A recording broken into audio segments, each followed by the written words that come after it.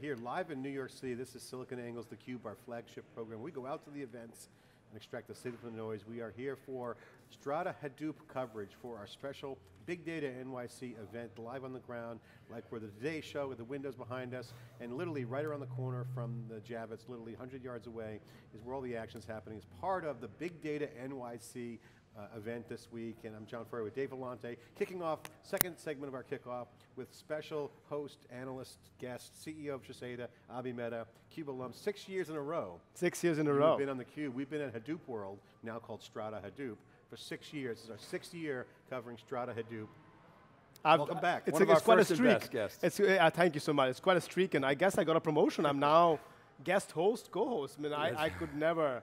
Uh, my father will be very pleased that yeah. you've, you've made me equal to the two guest of analyst. It's like right, you know, ESPN brings the coaches on that are successful Super Bowl champions, uh, and you are CEO. So you're in the trenches. We want to get your perspective as someone who's building a company, profitable company, Tresata, been on many times, but you're out in the trenches, you're out doing business, you are part of the ecosystem, you're part of this fabric of the big data business. What's happening, what's new and what's different this year? What's different, um, I think the three of us need to create the difference. Uh, we, we, need to change the conversation. The conversation needs to dramatically go from this obsession with technology, uh, which of course we come from the tech industry, so it's good to be obsessed with technology, to really understanding something that we haven't uh, changed our perspective on individually and as, uh, as a company in my case, but even having spoken to you before, that the future truly belongs to how technology is enabling the next generation business model. And uh, I am uh, now on a new mission to make sure the conversation actually changes. We cannot keep talking about um, or missing the point on this revolution, what it's enabling is a automation system, a automation ecosystem that can take human tasks that needs you know, brain power, intelligence, yeah and deliver decision systems at scale. And I hope, uh, John, to answer your question specifically, I hope that starting with Big Data NYC, as we go into 2016, the conversation changes into a new alphabet. I have yeah. a new alphabet for you, right? The ABCD uh, of, uh, of uh, in our big data ecosystem should be analytics, big data, cloud, and decision sciences. It's no longer about the data, the it's ABCDs about decisions. of business. ABCDs of business. So I got to ask you, okay, so one of the things that we're seeing, at least I'm seeing over the past six years, is certainly looking at cloud, the 70 events that we covered this year in the Cube, mm -hmm. you're seeing that the, it's almost like a train wreck in the ecosystem right now. And to my standpoint, you're seeing way too much pressure coming from the business side, customers, mm -hmm. who want scalable, large scale solutions. And it's as if the Hadoop ecosystem has just been slowly patching, moving incrementally along, adding features, even Hadoop uh, leader, mm-hmm. Cloudera, mm -hmm. throwing a haymaker out there, a, it feels like a Hail Mary, throwing out storage. I mean, it just seems so late to the game mm -hmm. when there's so much demand for solutions. Yes. Do you see that same thing? What and what does that do to the ecosystem? Does it force vendors to make uh, medieval acts and do things crazy? does it force the big guys like EMC and IBM and Oracle to come in and say, hey, you know what, we can fill a big gap here, we're used to large scale, that's a real interesting dynamic. You're seeing IBM dominating. You're seeing Oracle you know, spamming the event out there mm -hmm. with mm-hmm. taxis and billboards. So mm -hmm. what's your take? I fundamentally believe that the infrastructure story, that boat has sailed, you know? It sailed when Oracle won the America's Cup, and, uh, and we, we spoke about that uh, a while ago. Um, the obsession with growth is, is causing this turmoil in the ecosystem, I is my take on why you see this uh, uh, this uh, medieval, what do you call the medieval bloodbath. Uh, it is almost regressive to believe that we, in six years, six continuous uh, years of covering uh, what we have always said is a business revolution, right? We were the first ones to say, this is a trillion dollar ecosystem, not a billion dollar ecosystem. Mike Olson, a good friend of yours, good friend of mine, came out and said that last year, right? This is a, a trillion dollar value generation ecosystem. The reason the confusion is being caused is going from raw data to actionable intelligence is hard. It's hard if the only focus we have in our conversations is tech-driven. If we keep worrying about, you know, uh, backwards integration and not forward integration. So to your point, why are we talking about storage now and not, you know, uh, analytical applications, tool sets? The reason being, without a deep knowledge of the particular domain, yep. we call them data domains, it's very hard to have the conversation. So when you're when you have these when you have these massive valuations, John, and you guys know yeah. it, when you have these massive valuations, and the only way to fill into it is growth, yeah. you go and try to sell the easiest and lowest common denominator, which is, in this case, storage. storage. David, David, not so, not on, going and solving gotta, business I gotta, problems. I got to ask Dave a question because this comes in back down because that was a good thread.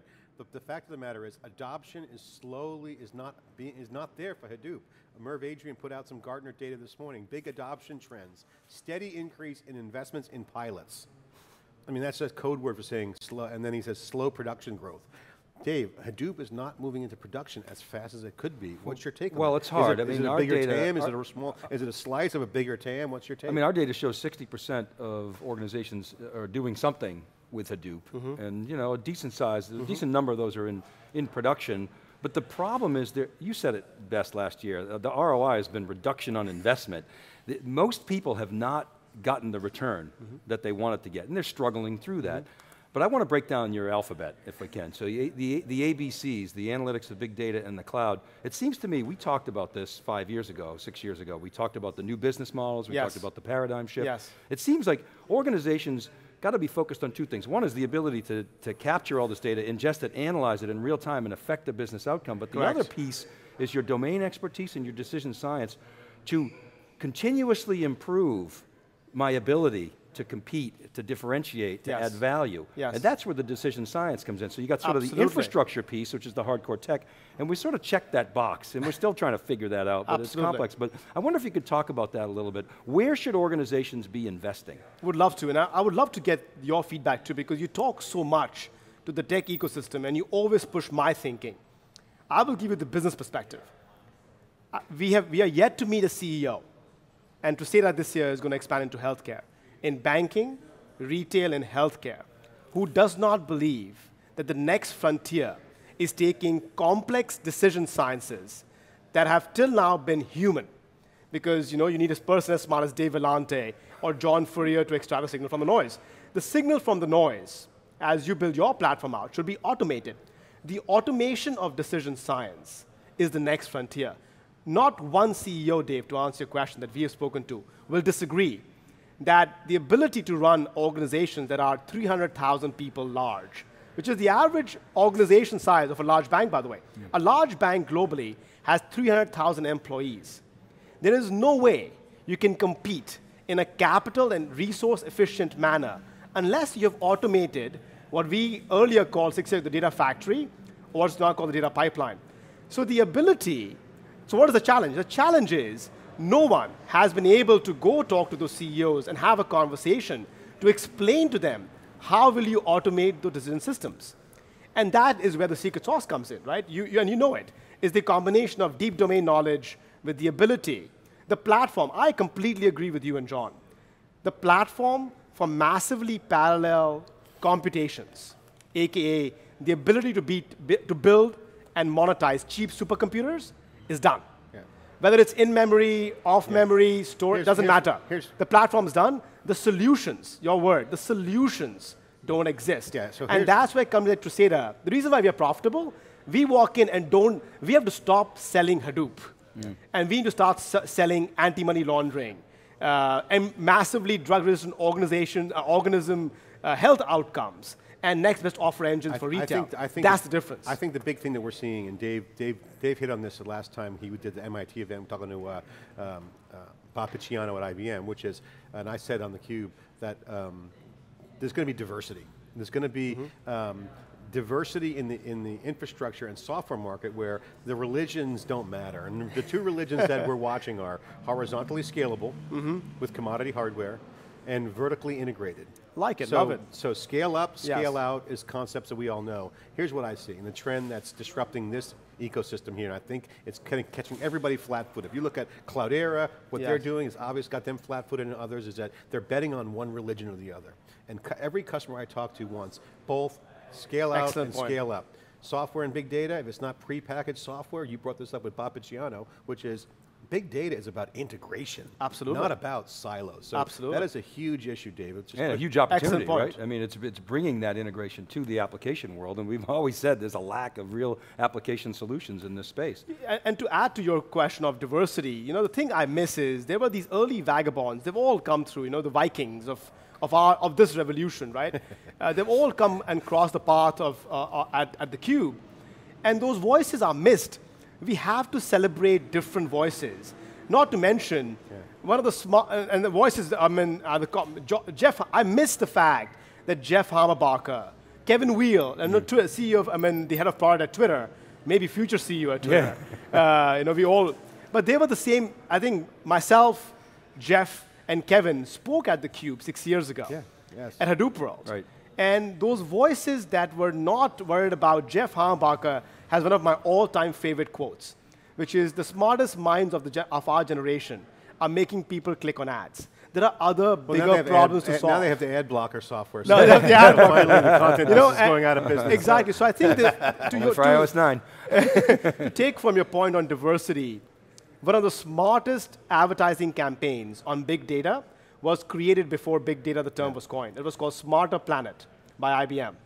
And I have seen the, and having been on both sides, as you know, been a customer of you know, large tech companies and now selling my own solutions, the ability to make the planet smarter, now that IBM has abandoned their marketing, I guess I can use it, the ability to make the planet smarter with 7 billion people, ah, how many devices now? 14 billion devices, and IoT, all these buzzwords will fail when if we keep worrying about the internet of things, if we keep worrying about the network and not the signal from the network, we will fail.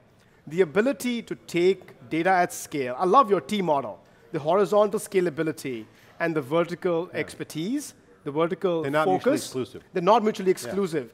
And the ability to integrate them, you know, very key word, the integrate the ABCs, analytics, big data, and cloud, integrate that in a solution, and not for, not for infrastructure, and deliver decision science. I think a key word we have to add to our vocabulary is decision science. We always joke on the cube, everything's going back to the old IT days. Information processing, data processing, decision support. I mean, this is, we're back to the old days. We We're- are. We're back to the old And you know, and we should be ashamed as an industry. i I am, I am, my, my worst days in the industry are when we create terms like the hub or the warehouse. Those were, fa- I mean, it tells me that we as a human race, we as a technology ecosystem, aren't smart or creative enough to come up with the right ideas. It's absurd to Data think. lake. It's absurd to think, and I know you don't like the term Actually, either. Cloudera put in their press release fast data, which I coined on the cube yeah, actually years It- ago. it's, but it's absurd to Sapphire, think 2011. it's absurd Abhi- to think. It's absurd to think that we will create data hubs, lakes. You know, big data will be successful gotta- we gotta- when we- it democratizes democratizes the access to data, not centralizes we, it. we got to break, we got to break now because we got we're over our time. But I want to get quick bumper sticker for both of you guys. What do we expect to see at the end of the show of Big Data NYC and Hadoop World? What do you expect to see at the end of this event? What's going to happen? I think what will happen is uh, you guys will be asking some very tough questions to people around what does the maturation look like, but more importantly, what is the roadmap when intelligence gets automated? That's what I expect the two of you to do. Yeah, I think we're entering the era of confusion, and those leaders that can help us squint through that are going to be the winners. Confusion, of course, uh, not a problem for the cube. We extract the signal from the noise. That's what we do. We're here live all week here in New York City. We'll be right back with more after this short break. Live for Big Data NYC, part of Had- Strata Hadoop. We'll be right back after this short break.